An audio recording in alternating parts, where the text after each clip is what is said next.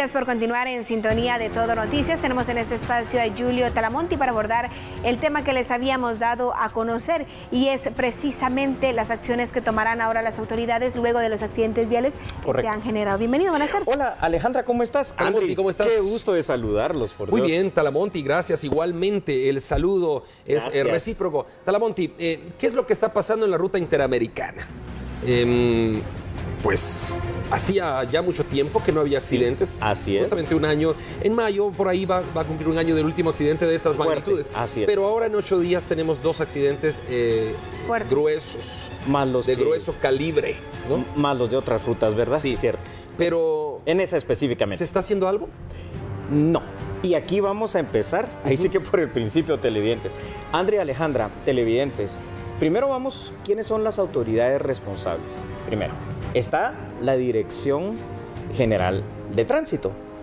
Eh, y está el Departamento de Tránsito, ojo con eso, son dos cosas bien distintas. El Departamento de Tránsito es quien tiene realmente, fíjense Andrea Alejandra, esta situación para el control del tránsito a nivel nacional y pertenece a Policía Nacional Civil. La Dirección General de Tránsito es solo para el transporte extraurbano, transporte de pasajeros extraurbano y pertenece al Ministerio de Comunicaciones. Pero Ministerio de Gobernación, Andrea Alejandra, ha delegado a muchas municipalidades el control del tránsito. Y sin embargo, parece que aquí el control... O sea que no hay un ente supervisor del tránsito general. Ah, y, y te- no, bien, bien, te cuento una cosa más. Eh, entre esa confusión se creó el Observatorio Nacional de Tránsito.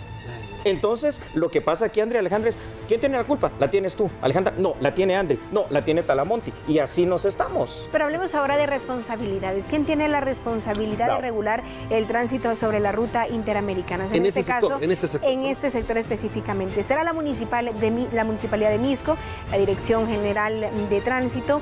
¿Será el MISIBI? ¿Quién tiene que hacerse responsable y quién tiene que en realidad organizar y regular el tránsito en la ruta interamericana? Hay una situación histórica que ha venido a causar esta polémica, fíjense, Andrea Alejandra. Eh, inicialmente era eh, la- el Departamento de Tránsito de Policía Nacional Civil y por supuesto por ser una ruta nacional entra el tema de Provial, lo has dicho muy bien, pero entra también la DGT para el transporte extraurbano. Sin embargo, quedó luego de una acción legal un impasse. La jurisdicción que se le dio a la Municipalidad de Misco llega supuestamente hasta el kilómetro 25 de la ruta interamericana. ¿Dónde está el mirador? Sí, el mirador. Sin El, eh, embargo, sí. ahí se han impuesto algunas acciones legales como amparos porque dicen, ¿cómo puede ser que una municipalidad regule lo que es una carretera, una ruta tan importante? Claro, Talamonte. Y ahí yo iba a hacer alguna, algún hincapié, Alejandra, que lo hice en, eh, en la primera parte del noticiero. Te encuentras a veces bajando de San Lucas a Catepec hacia la ciudad algunos agentes de tránsito eh, debajo de unos arbolitos tapados, mejor si no lo mira nadie, Ah. tomando fotos a los que vienen a alta velocidad y pareciera, Ojo. y tal pareciera ser que ellos se alegran cuando alguien Sí. pasa a alta velocidad porque les genera otro dinero de la multa. Eso es educación vial, Talamonti, perdóname mi no, ignorancia. Andri, Eso es no. Y me dejas vial. comentar sobre lo que Por acabas de decir, que es muy importante. Fíjate, Alejandra. Ah, para eso sí, entonces se, ocupan esa parte territorial jurisdiccional hasta ese kilómetro 25 para instalar los fotovelocímetros. Entonces significa que también debe ser ocupada esa parte para la regulación, para el control, para los operativos y para la prevención, porque eso no es seguridad vial. No es Claro, educación, y a, lo- no y es precaución. a lo No, que no dice prevenir. Sí. luego aparecen las multas, y Así le aparecen es. las multas a uno y cómo uno puede comprobar No. que no iba a una excesiva No, velocidad. por supuesto, no te lo tendría que comprobar el juez con un video. Claro, y cómo realmente foto no. ellos están midiendo Sí. si uno va o no a excesiva Así es. velocidad, porque son prácticas que hacen que a mi criterio son ilegales No, o pero, deberían eh, de es ser cor- es correcto, ilegales y no permitidas, porque no tenemos ninguna prueba sobre en qué basarnos y decir, bueno, eh, precisamente Es que- iba a 90 kilómetros, a 80 kilómetros, ¿cómo se mide eso y cómo podemos entonces reclamar y decir no iba a esa velocidad? Por un video. El juez te tendría que mostrar un video, no una foto. Muy bien.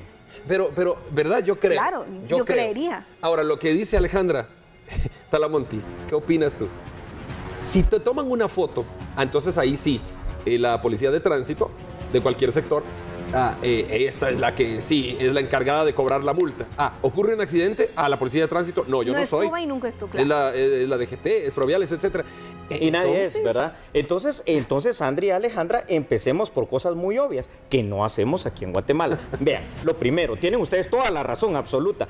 Primero, no debería ser, Andrea y Alejandra, obligatorio, pero cuando digo obligatorio, por ley, pero por ley, el hecho de que todo transporte, es más, hasta el carro privado que usted maneja, la moto que usted maneja, tenga seguro, debería ser obligatorio. Número uno, no lo es. Ahora, segunda cuestión, la responsabilidad, primero, vamos a los transportistas. Le dan los vehículos pesados a cualquiera. Tener una licencia tipo A requiere cierta experiencia y requiere cierta edad. Eh, no lo cree hasta la Monty. no, en la teoría, en la teoría, en la teoría. deja de decirte que, por ejemplo, ¿qué licencia tienes tú? Yo tengo TC desde que la saqué. Y tengo 23 años de manejar. Bueno, imagínate. Te aseguro que si llegas a examinarte para solicitar la no licencia me la dan. A, sí te la dan. te dirían, aquí están las llaves, estaciones ese camioncito que está ahí. Tú estacionas un camioncito y lo, y lo aceleras otra vez, ya, aquí está. Vaya a MyCom y te dan tu licencia tipo A. Y cuando te... Con, entonces tú ya puedes decir, yo soy trailero. No eres. Ahí está. Exacto, para regresar al tema, no lo eres, es correcto. Solo tienes la licencia, que hay que ver si no la compraste. Porque también, se ha dado la corrupción en este sentido. Me, llama la atención el tema de los seguros en este caso. ¿Por qué a su criterio es importante y por qué todos los guatemaltecos deberíamos de tener la conciencia de tener el vehículo asegurado? Que a mi criterio es muy importante, el contar con un seguro que te resguarde y por supuesto te respalde en una emergencia. Alejandra, ¿sabes qué? Lo que pasa es que el seguro sí es prevención. Porque él, eh, si, si, si fuera obligatorio tener seguro, estoy seguro valga la redundancia, que estos accidentes pasarían menos. ¿Por qué? Porque el seguro te exige. Te exige que obviamente tu vehículo esté bien, esté en condiciones. Te exige que todos los sistemas estén funcionando bien, porque si no ellos no pagan. No pagan. y, uno debe llevar el vehículo a que le realicen una inspección previo a previo, Ahora, hay otra cosa importante. Fíjense que en los temas del transporte pesado, tienen cierta cantidad de toneladas, le ponen más toneladas. Luego hay incentivos. Si tú llegas con la carga más rápido, te pago más. Además, eh, por eso es que los pilotos duermen muy poco, duermen cuatro o seis horas apenas para ir sacando más cargas. Mientras sigamos haciendo esas irresponsabilidades, los accidentes los vas a ver. Hasta si estás enfermo de la vista, solo, eh, bueno, quizá das una mordida y ya te dicen que estás bien, ¿no? para, y ya para que la licencia salga bien. Bueno, tuve, ya para ir finalizando, tuve la oportunidad de pasar esta tarde. ¿Podemos? Me fui, a, hacer una grabación rapidito ahí al puente, al paso a desnivel de donde ocurrió el accidente. ¿Y qué observaste?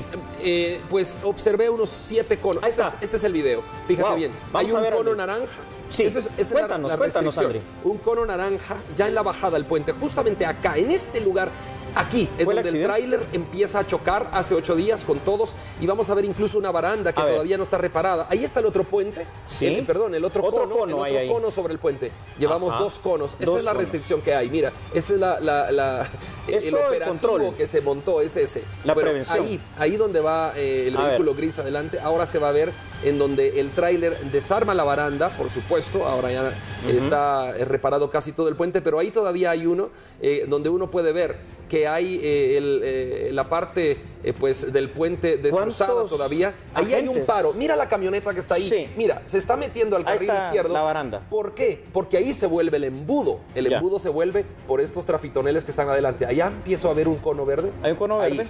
y, el y hay un trafitonel. agente de Mixtra está ahí. Eso es todo el operativo que se montó. Después. Entonces no estamos haciendo absolutamente nada.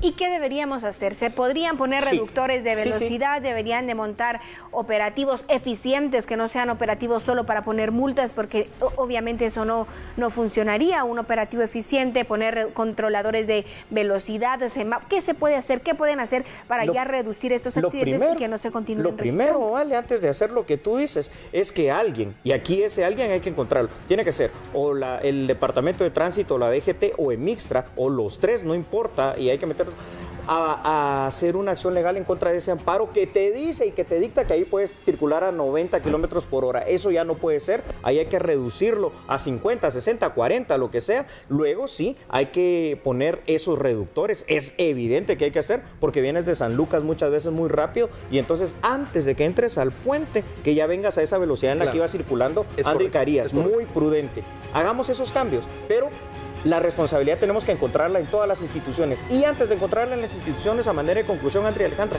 la responsabilidad es nuestra. Si vamos a manejar, tengamos la licencia que debe de tener, tengamos la responsabilidad de hacerlo bien y la responsabilidad de que nuestro carro esté bien y que estemos asegurados también. Así es, es muy importante. Gracias Julio Talamonti por haber estado con nosotros y por esos aportes tan importantes. muchas personas nos siguen y por, por supuesto esperemos que lo que usted escuche acá sea algo positivo y que también cambie algunas conductas que todos los guatemaltecos debemos ir mejorando. Quiero hacer una observación. Muy buen camarógrafo resultó el Lica de ah. Carías. Buenas, buenas tomas y vimos que no hay nada. Talamonti, feliz viernes. Igual. Que te vaya bien, feliz fin de semana. Te esperamos el lunes con otro análisis referente al tema de seguridad, en este caso muy puntual, ahora hablando de la carretera, pero eh, vendrán eh, más temas porque la noticia no se Así es, bendiciones. Continuamos.